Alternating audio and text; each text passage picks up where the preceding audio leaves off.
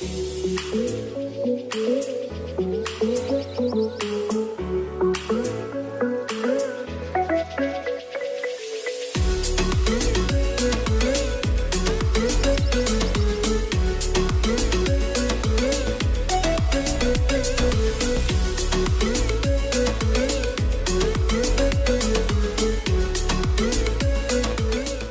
aprendizaje ha sido una sumatoria de muchas otras personas, de la casa, de la escuela y del campo.